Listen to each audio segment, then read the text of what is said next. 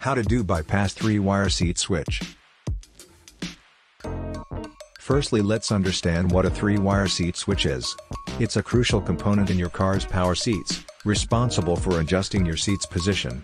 Now, these switches can sometimes malfunction, leaving you stuck in an uncomfortable position. Step 1, Safety first, remember safety is our top priority. Make sure to disconnect your car's battery to avoid any electrical mishaps. Also, ensure you're working in a well-ventilated area.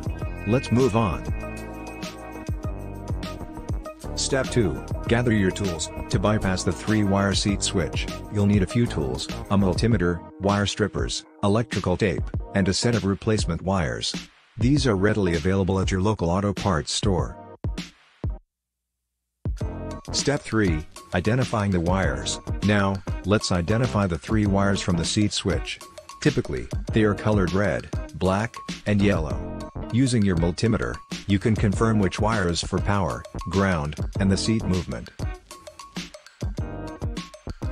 Step 4, bypassing the switch. Here comes the exciting part. We'll bypass the seat switch by connecting the power and ground wires directly. Use your wire strippers to expose a bit of the wire, twist them together, and secure them with electrical tape. This will effectively bypass the switch and allow your seat to move freely. Step 5, Testing your seat. With the wires connected, it's time to test your seat. Reconnect your car battery and try adjusting the seat. If it moves smoothly, congratulations! You've successfully bypassed the 3-wire seat switch. Step 6, Final steps and safety checks. Before you call it a day, make sure to wrap those exposed wires with electrical tape and secure them properly. Double check your seat adjustments to ensure everything works flawlessly.